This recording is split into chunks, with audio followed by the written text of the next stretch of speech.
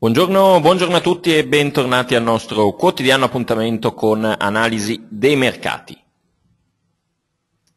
Portiamoci subito vedere ad analizzare che cosa è successo nella giornata di ieri. Sicuramente possiamo definire la prima seduta ad come una seduta, una pausa di riflessione da parte degli investitori dopo l'ottimo rialzo registrato durante tutta la scorsa ottava. Difatti andando ad analizzare le performance di tutti gli indici mondiali possiamo vedere come si siano registrati ehm, in tutte le borse sia europee e poi anche a Wall Street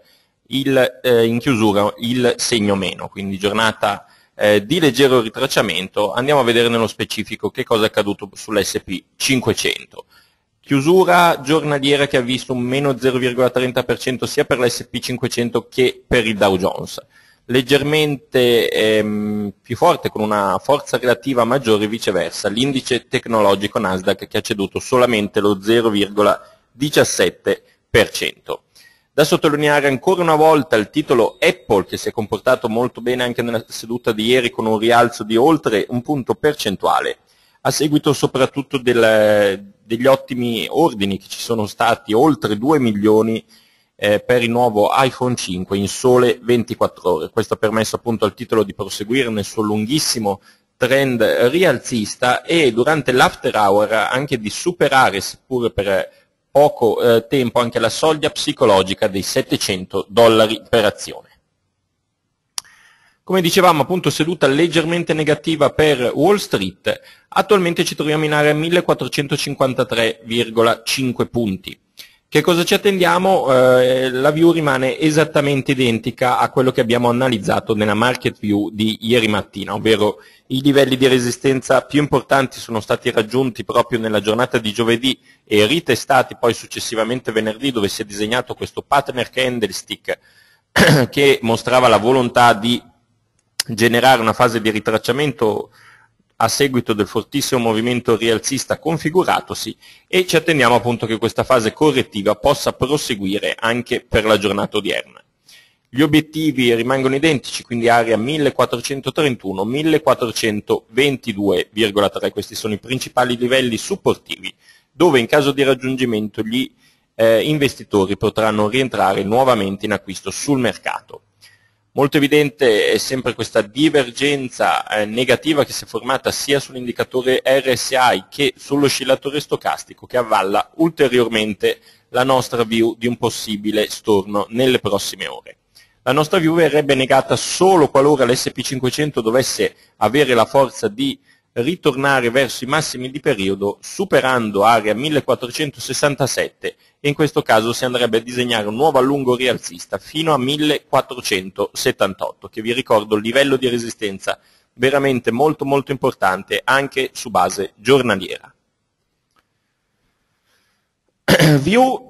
che rimane esattamente uguale anche per il DAX di Francoforte, performance eh, leggermente in negativo ieri per l'indice tedesco che però eh, sicuramente ha, ha, visto praticamente una, chiusa, una, chiusura solo in frazionale territorio negativo. Il DAX eh, ancora si trova sotto i due principali livelli di resistenze, 7424, 7444 e vedete come con l'apertura di circa 50 minuti fa i ribassisti sembrano essere appunto intenzionati ad entrare nuovamente sul mercato. 7.370 in questo, in questo caso appunto le quotazioni del ehm, DAX di Francoforte proprio in questo istante, view eh, confermata ribassista, cioè teniamo una fase di storno per l'indice tedesco fino a area 7158 7090, un segnale viceversa di continuazione che andrebbe a negare nella nostra view ribassista, verrebbe fornito solo in caso di superamento proprio dei massimi relativi precedenti, vedete di questi livelli che sto evidenziando. Anche in questo caso è presente una chiarissima divergenza negativa sia sull'RSI sia sullo stocastico, come abbiamo analizzato anche sull'SP 500.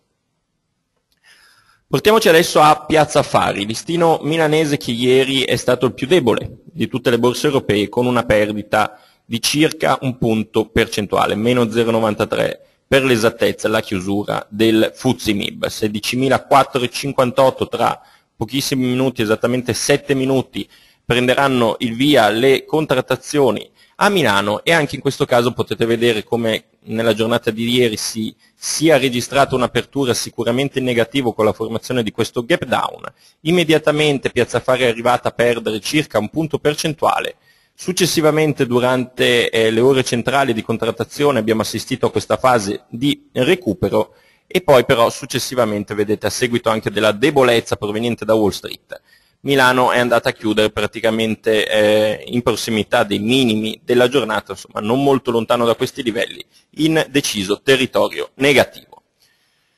Anche in questo caso la nostra view è assolutamente ribassista anche per la giornata odierna, un primo obiettivo per il nostro mercato sarà andare a chiudere il gap up 16.277, eh, scusate, 16.273, gap up ancora rimasto aperto dopo l'ottima partenza registrata venerdì a seguito delle dichiarazioni del presidente della Fed Ben Bernanke eh, della vigilia in cui appunto annunciava il nuovo QE3, appunto primo obiettivo 16.273, chiusura del gap, in prima battuta si potrà assistere successivamente a un breve rimbalzo e poi gli obiettivi per le prossime giornate sono di un possibile approdo in area 15.707, 15.472. Spostiamoci anche alla situazione dei principali cross valutari. Partiamo innanzitutto dall'euro-dollaro. Vedete una seduta un po' a due facce potremmo definirla, una prima parte che ha visto un ritorno della debolezza, un, eh, un nuovo allungo rialzista che ha portato a definire, anche se per pochissimo, comunque fare un retest praticamente dei massimi relativi precedenti, a cui è seguito un successivo ritorno della debolezza. Per la giornata odierna il supporto chiave da monitorare si trova esattamente in area 1,30 e 82. Vedete che è stato raggiunto proprio qualche istante fa questo livello supportivo dai quali si è definito un rimbalzo di circa 20 pips. Massima attenzione in caso di breakout ribassista potrebbero iniziare le prese di beneficio sulla valuta europea e generare uno storno che potrà riportare l'euro nei confronti del dollaro americano fino in area 1,29 e 17. Nuovo segnale positivo solo in caso di superamento di 1,31,70 che consentirebbe alla valuta europea di riportarsi fino a 1,32,46. Andiamo a monitorare anche un cross che stiamo analizzando ormai da qualche seduta, vedete dollaro americano contro dollaro canadese che sta reagendo molto bene da questi importantissimi livelli supportivi dove si è formato altresì un partner candlestick di inversione di tutta questa lunga tendenza ribassista, si tratta di un hammer che è un partner appunto assolutamente di ehm, inversione della tendenza eh, ribassista precedente, vedete come la fase di rimbalzo stia proseguendo, attualmente siamo in area 0,9743 e abbiamo registrato già rispetto ai minimi eh, un uptrend di oltre una figura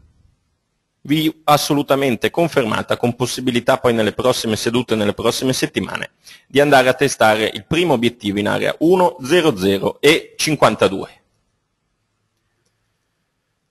Andiamo a vedere anche quali saranno i dati macroeconomici più importanti per la giornata odierna. Allora, in mattinata i dati da monitorare saranno principalmente due. Indice di prezzi al consumo del Regno Unito, vedete in pubblicazione alle ore 10.30 con previsioni